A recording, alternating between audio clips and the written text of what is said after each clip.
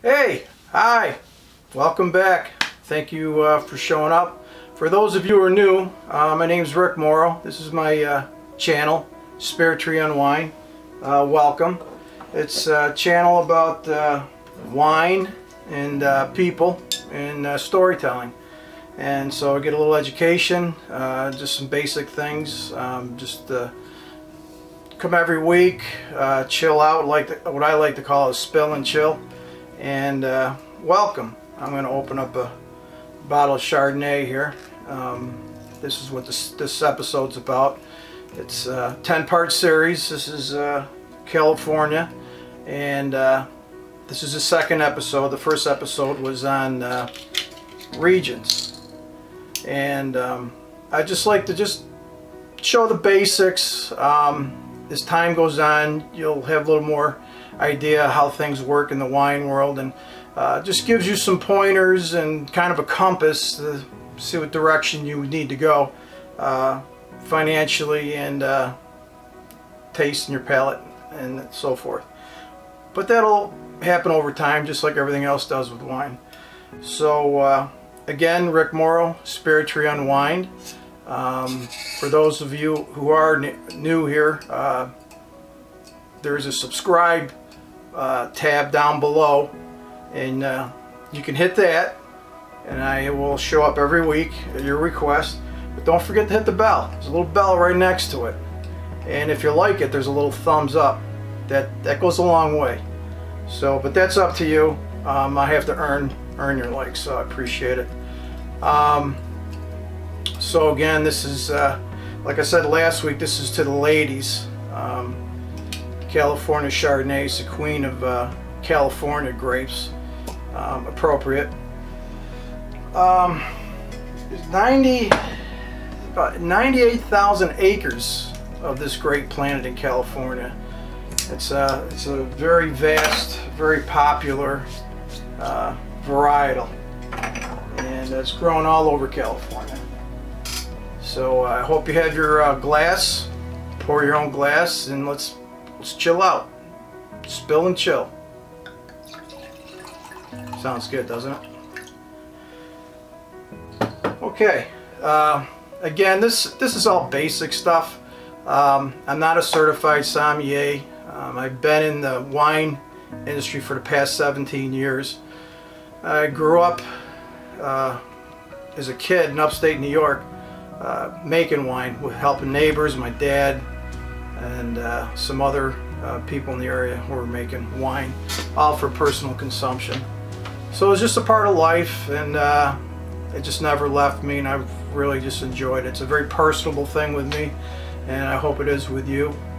Um, it's just really the culture of it with family and friends. And what goes better with wine is storytelling. I mean, how many times you sit around the the, the holidays or the family gatherings and uh, the wine was out and the stories just start coming along right with it.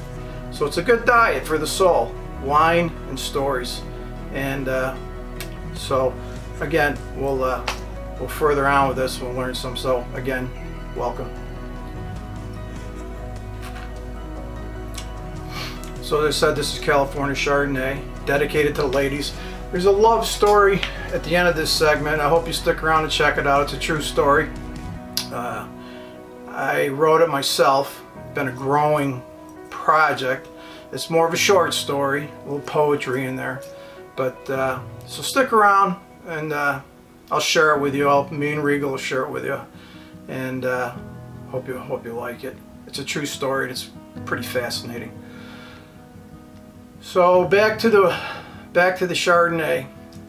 Um, like I said, there's 98,000 acres this planted in California. Uh, it's a dry grape, medium to full bodied, and there's two different Chardonnays. There's oaked, which is in oak barrels, and there's unoaked, which is in stainless steel tanks. This is what I'm drinking is an unoaked. I like unoaked. Um, anybody drinks Sauvignon Blanc, you like that crisp fruit.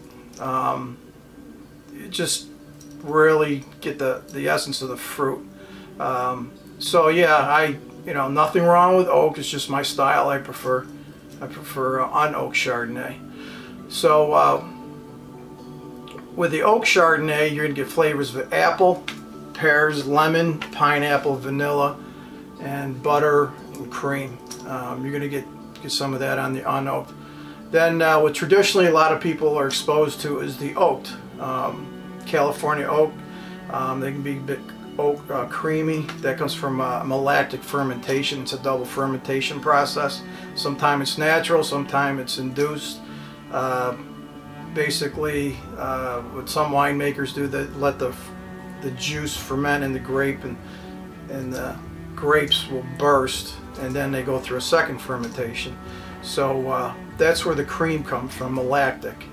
So uh, just a little something there um, when you hear people talk about creamy Chardonnays. Um, so with the oak, you're going to get flavors of apple, pear, lemon, pineapple, uh, vanilla. The vanilla comes from American oak. That has a big influence. You can get a lot of that influence from American oak. And uh, again, butter and creamy. Um, so yeah, that's that's oaked. And then uh, with the unoaked in the in the stainless steel tanks, uh, more desirable is the cooler climates uh, of California, and um, you're gonna get flavors of citrus, uh, grapefruit, lemon, butter, little biscuit and honey. Um, really interesting flavors, and uh, very very delicious, especially on a hot summer day. And uh, the warmer the warmer climate, uh, like I said, the first one was the cooler climate. The warmer climate is uh, you get tropical flavors such as banana, mango, um, melon, peach, pineapple, cream, butter. That's a busy one. Uh, warmer climate, you get more of those tropical flavors, and uh, again, a great summer summer wine to hang out on an evening with some friends and just drink a nice chilled bottle. Uh, so spill and chill. Then, uh, you know, the serving temperature, they can vary on the oak and unoaked. Uh, the oak you want 54 to 56 degrees Fahrenheit. That's 12 Celsius to 13 Celsius for our friends uh, other parts of the world, our friends in Canada. Um, so yeah, oak 54 degrees to 56 degrees Fahrenheit uh, 12 to 13 degrees Celsius. That's for the oaked. Um, problem is with oak, if you get it too chilled, it closes up the fruit.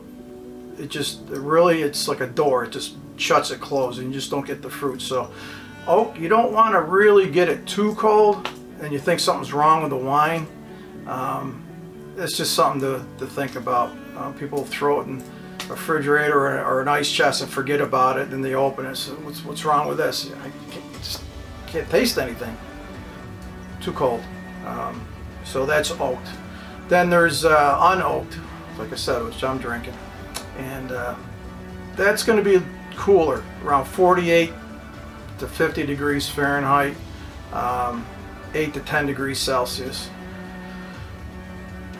I mean, when you get down without the oak, you can bring the temperatures temperatures down lower, so you're going to get that uh, that real flavor of the citrusy and the and the crisp of, of the fruit. And uh, always invite you back for more. just you just get that flavor. And living here in Florida, we like uh, a cold Chardonnay. So yeah, remember oaked, 54 to 56 degrees Fahrenheit chilled at uh, 12 to 13 Celsius, unoaked 48 to 50 degrees, uh, 8 to 10 Celsius. And uh, just uh, by those guidelines, you'll be enjoying a great bottle of Chardonnay. So, uh, another thing I like to uh, include in this segment, um, again, just some basic guidelines. Just like I said, this is all a compass just to get you out there and uh, just start exploring uh, what's out there. So uh, this is what it's uh, basically a flavor profile of some of the areas and I'll just run through them real quick. Uh, it's uh, Carneros, it's the north coast. You heard me talk about the, the regions in my previous video. If you haven't, you go back and check it out. Um, you get some brisk acidity out of that. Uh, the Russian River, the North Coast. You get some uh, flinty fruit. Uh, again, these are flavor profiles. Just uh, discover your palate and, and uh, you'll try different types of these and your palate will tell you, you know, what you enjoy. Uh, kind of process of elimination. But over time, your palate's going to change too. That always does um, over the years.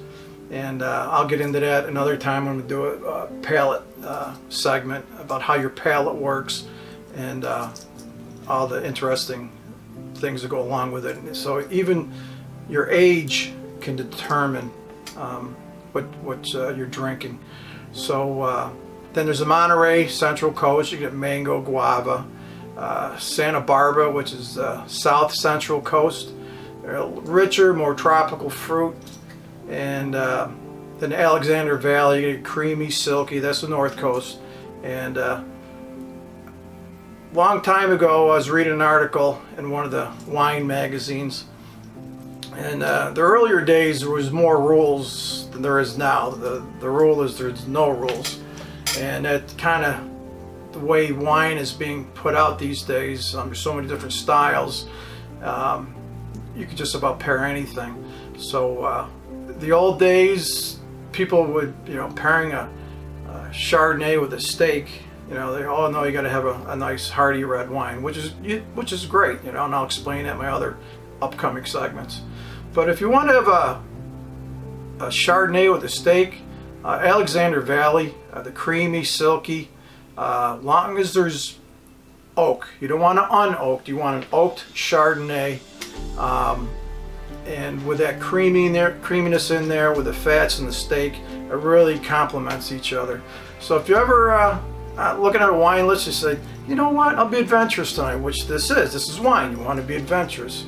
It's uh, like I said you, in my previous episode, you have your whole life ahead of you. Um, so yeah, give it a go.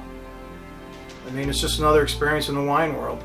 Um, a nice uh, cut of steak, uh, grilled to your perfection, and uh, try it with a Alexander Valley uh, oaked Chardonnay. Um, you may be surprised. And um, on the front of the bottle or the back of the bottle, it's always in small print. Sometimes you really have to look for it. The alcohol content and the Chardonnay varietals run between 13.5 to 15 percent. So uh, just in case some of you are uh, you know curious about that. Um, another fun thing to do is you have some friends over. Uh, have some of the friends bring a bottle of oak Chardonnay and have the other group of friends bring an un-oak Chardonnay. So one oaked bottle and one unoaked bottle, or two or three, whatever good time you, you, you tend to have. So, uh, and you, you could compare the differences, you know. Try to try to get them from the same region, North Coast, South Coast, Central Coast. Uh, there'll be a little bit more of the profiles of the wine will be a little bit more the same. And uh, have fun with it. Um, what I am doing is I made these little sheets up. You can request them by your email address. I can send them to you. It's uh, it's just a little tasting uh, sheet. You can write down your own notes. I hope you can see it. And uh, it's just something fun to keep, you know, have ready. You just print them off on your uh, your printer off your computer. And I have a second page which is uh, for notes. So, you know, you're here to have fun. You're here to enjoy. There's, there's no pressure here. Um, you do it in your own comfort zone. And uh, pick a pick a wingman. Like I said, uh, Regal, he's my wingman. Pick a wingman and uh, do this together. You know, have fun.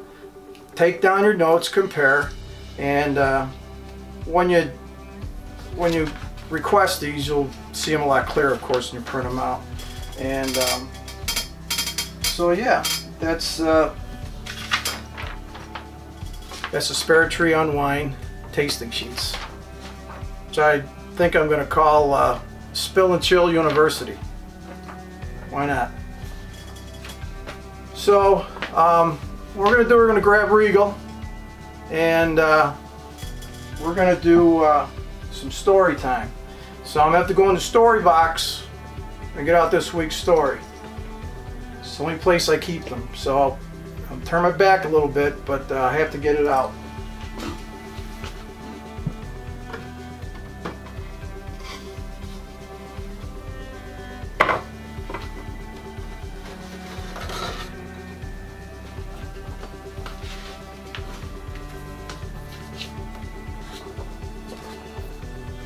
Called End of the Innocence. Or can you see it?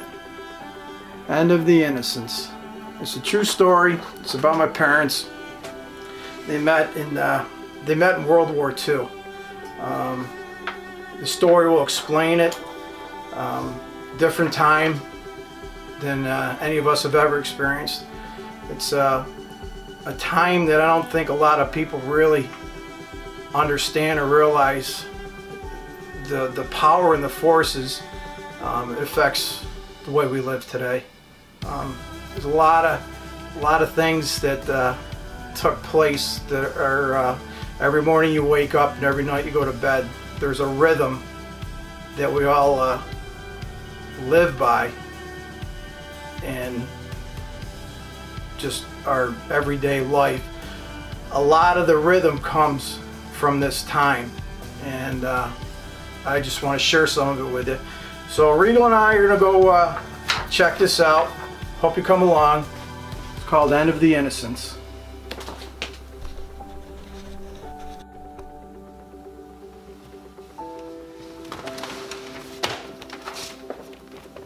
Okay, Regal and I are back. And like I said, I was going to have a love story.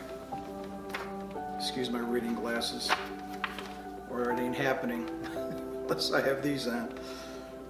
So again, I want to say this is a story about my parents who met in World War II um, in 1944 in a USO club.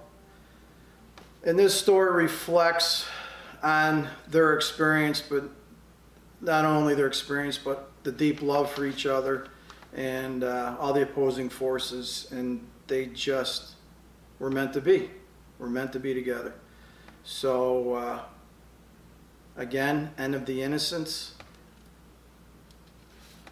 And this is how it all started. It was the spring of 1944.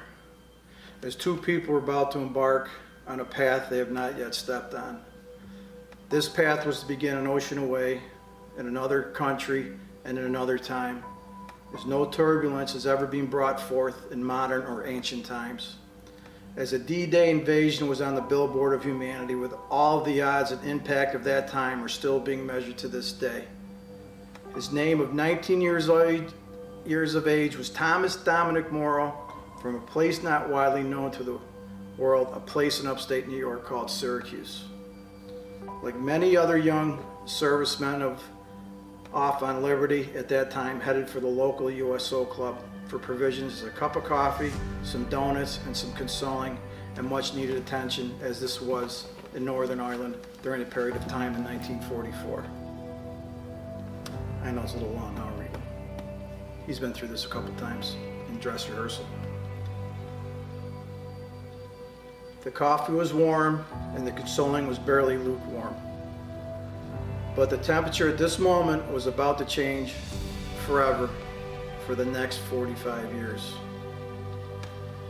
This 15 year old innocent girl that lies in waiting by the name of Patricia Marion Tate of Irish and Scottish descent had no interest in Thomas Dominic.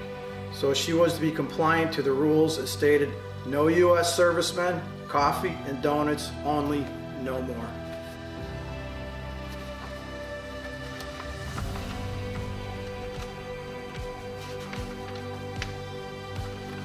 As Thomas Dominic leaned over and asked Patricia Marion if she would share a dance with him. She, being the daughter of the appointed guardian of all the USO clubs in Ireland by the Queen Majesty herself, by no means could she accept his invitation, and so Patricia Marion hurried herself off to the ladies' room. So as in pursuit, the 19-year-old sailor, Thomas Dominic, waited outside of the ladies' room with much anticipation. When she finally exited the ladies' room, Thomas Dominic said in a shy, firm manner sort of way, He said, Can I walk you home tonight? With much reserved hesitation, she accepted his second invitation on this cold spring rainy night in Northern Ireland. With its brick-laden streets and cobblestone paths, for within these laden paths, these streets have collected all but one more story to only be thrusted into the horizon of forward time. As these cobblestone and brick paths have been collecting the stories of so many souls for hundreds of years past, for this to be as one more in the twilight of more dawns to come. As to be on her mind of anxiousness of her surroundings, the front stoop of her house ever becoming larger with every step and every deep breath and every pounding heartbeat. Forever closer they came to the dimly lit stoop for only to pause the short journey. Hoping and praying her mom, Sarah Tate, was not home to discover that she was in the company of a very young U.S. serviceman of Catholic descent of this cold and rainy, foggy Irish night. Now, how many opposing forces could you have between two young people? A world war, two different cultures, and two different backgrounds of religion. And a mother in her own right to protect her only child from the day-to-day problems of bringing up a young, attractive girl with a world war on and thousands of young U.S. servicemen milling about to exercise their liberties with no recourse to be observed in their own proper channels. So as all the fences in the above as stated and for the all to come, into the future we're about to be hurdled. No fanfare, no reference, just strength.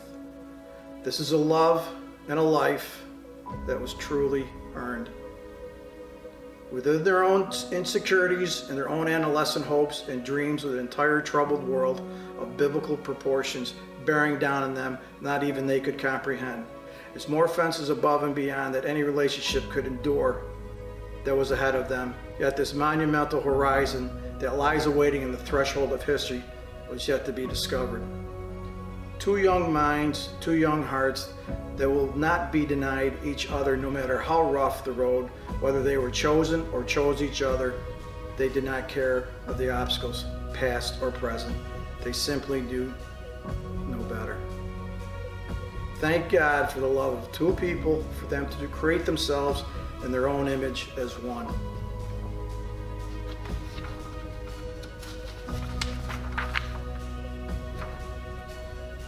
Now, as a new world was about to take hold, as they were only a tiny, tiny piece of it. But for the many of the never ever ending decades to come, and for the willing and not so willing souls to climb aboard, awaited to all, and who was up for the journey. So many years into the future, as decades passed, on a warm summer's day on the river of fresh water, as the layers of children of his youth swim below him, as the song End of the Innocence by Don Henley was playing on the tape deck. So incredibly appropriate as this was the summer of 1990. Thomas Dominic, my father, for me to see him in self-contemplation of his life, he then turned to me as I was taking in the moment of time and the song, as if in a rush of the self-enduring contemplation that was going through his mind, only to catch me off guard, only looking into my eyes, but into my soul. I knew the platform, but not the forwarding comment. He looked at me with an amazement on his face, and then he spoke. I just stopped in for a cup of coffee, he said.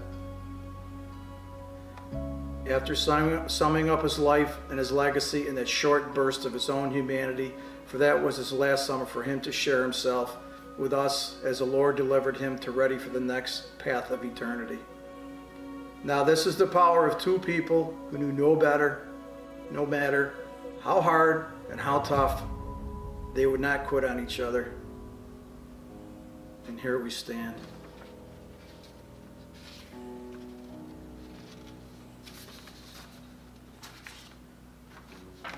Once again, the path is laid out in front of the two lovers from where a vast ocean and a world war could not come between them. Thomas Dominic waits at the gate of the path with his loving arms out to his first love, Patricia Marion Tate, the girl of Scottish-Irish descent. As she accepts his loving reach for the second time, she, was, she has stepped into the final and forever path, the path of eternity, to forever, to be as one.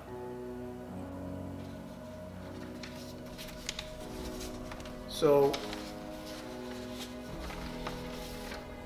I just felt I had to uh, put that into words. I wrote that a couple years ago after my mom had passed away because I thought that their, st their story was, was very unique and there was a lot of them like that. Um, and that was just the beginning. My father was shipped back out to the South Pacific on an LST and he was in uh, two major invasions while he left my mother behind.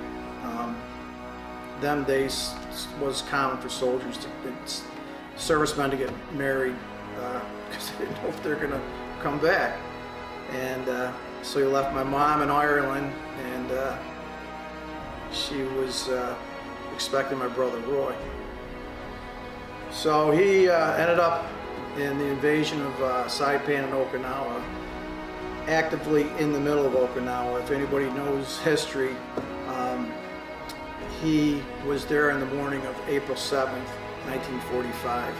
And um, kamikazes came in, they just devastated the fleet. They were uh, just amazing. Um, the history, um, you can see, you can just Google it and see what happened that morning.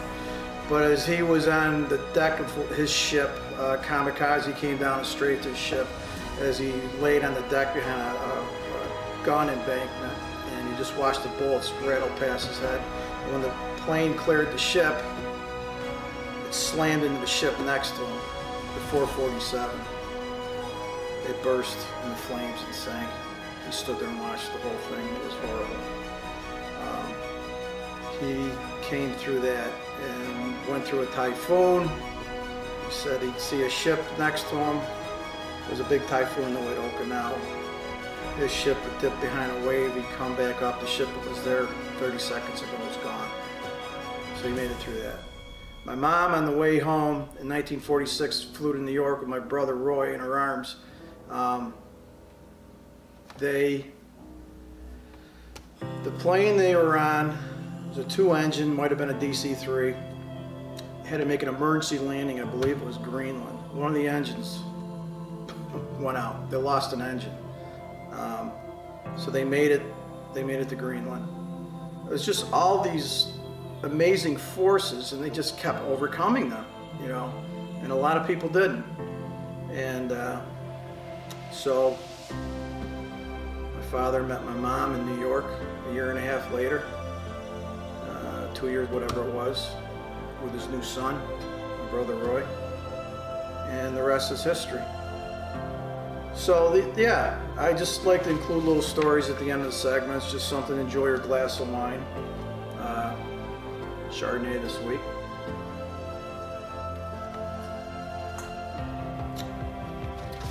So like I said uh, earlier, uh, don't forget to uh, request your Spirit Tree Unwined.